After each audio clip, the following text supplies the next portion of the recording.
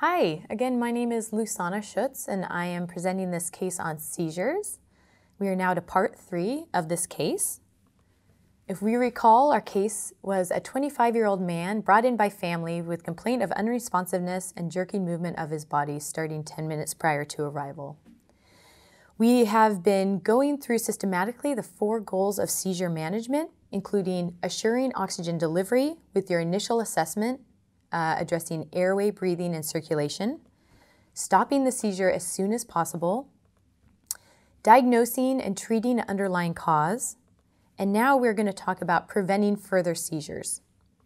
So again, we're going to put all of our information together. Think about what's going on with this patient. We, he came in with a seizure.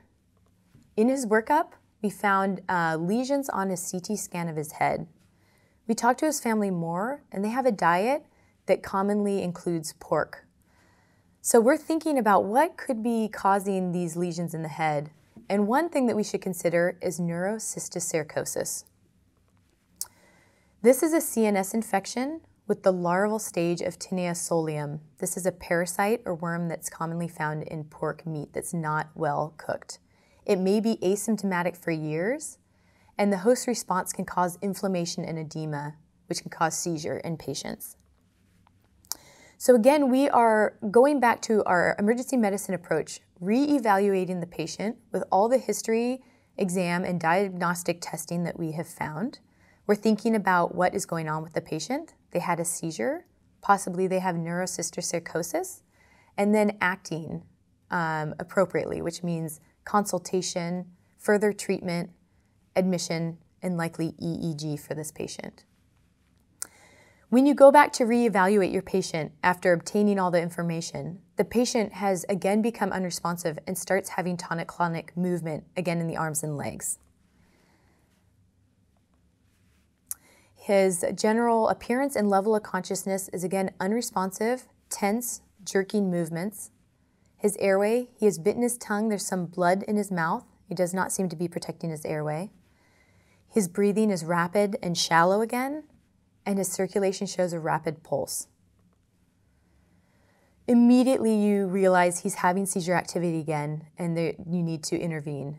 Um, so, this could require again position uh, of the patient, suctioning, opening the airway, um, oxygen delivery, cardiac monitoring, IV, and blood glucose again. Many of these we're already doing, um, including providing oxygen, we may need to consider further airway adjuncts or airway intervention um, in this patient. So we give him two more milligrams of IV lorazepam. We continue the oxygen. We provide suctioning to get the blood out of the mouth. The patient with the two milligrams of lorazepam continues to have seizure activity. He has secretions and blood in the mouth, has rapid shallow breathing, and is tachycardic with a present pulse. Heart rate is 130 beats per minute. Respirations are 32 respirations per minute, and his oxygen saturation is 86%. Is this patient sick? We're thinking. And of course, this patient is not only sick, but more sick than he was before. We're really concerned about this patient. What defines status epilepticus? Is it A, any tonic-clonic seizure activity? Is it B, multiple seizures in a day but with return to baseline in between the seizures? Is it C, continuous seizure activity greater than five minutes? Is it D, tonic seizure activity with respiratory compromise? So one definition of status epilepticus is C, continuous seizure activity of greater than five minutes. So technically, upon arrival, the patient already had status epilepticus because the seizure had already lasted 10 minutes. But also in the definition, is multiple seizures without return to baseline mental status. So the patient also has status epilepticus by this definition. This is a life-threatening illness and again needs intervention immediately for the patient to survive and to have good neurologic outcome. We give an additional 2 milligram IV lorazepam and think about other medications that we want to um, give the patient. Continue oxygen and airway management with suction and opening the airway and we get preparation to intubate the patient because we are concerned about this patient's airway. Again, we need to stop the seizure activity. So Again, looking at our anticonvulsants, um, we have given benzodiazepine twice, so we should consider the next line um, in treatment, such as phenytoin, newer medications such as levetiracetam or Keppra, and maybe even general anesthesia or barbiturate coma. Again, we look at our list of medications and the dosing, um, thinking about what we need to do next to stop this seizure as soon as possible. On reevaluation, the patient's seizure activity has seemed to stop. His airway is clear now after suctioning and seems to be stable with the nasopharyngeal airway in place. His breathing is deeper and slower, and his heart rate has slowed down and he has strong pulses. But we're still thinking and acting in our interventions. This patient has had status epilepticus, may not be seizing right now, but may start again shortly. So we're thinking the seizure does, does seem to have stopped with the additional four milligrams of Ativan IV. However, he has not returned to baseline mental status. And you should be thinking who should be started on longer acting anticonvulsants?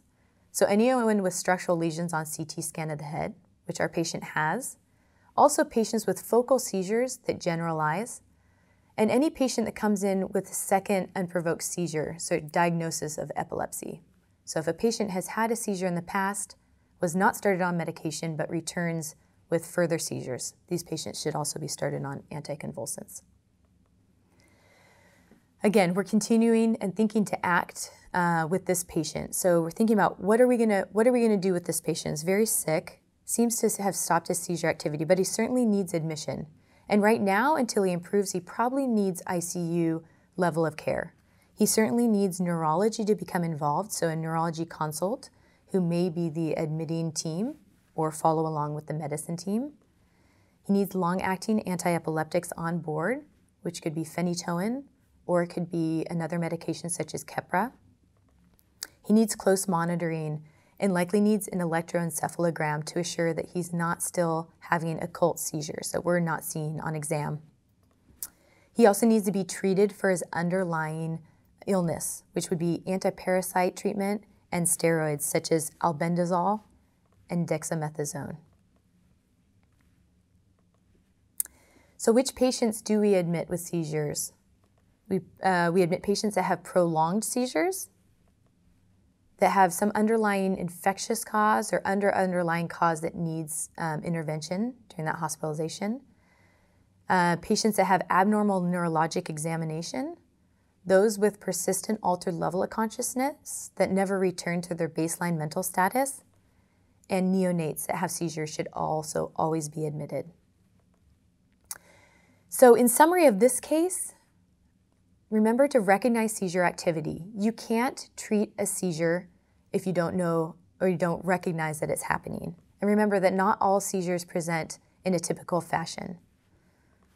Assure oxygen delivery with addressing your airway, breathing, and circulation. Stop the seizure as soon as possible. Remember, the longer the seizure activity, the harder it is to stop and the worse outcome for your patient. Diagnose and treat the underlying cause. Use your history, your physical exam, and your diagnostic tools to narrow down your broad differential diagnosis and try to figure out what is causing your patient's seizure. And then prevent further seizure activity treat the underlying cause, frequently reassess your patient, and make sure that you have appropriate disposition for that patient. Being admission to the hospital may be critical care, may be the medicine or the medical unit with neurology consultation. And that summarizes our case. Again, thank you for joining us on this case um, about seizures.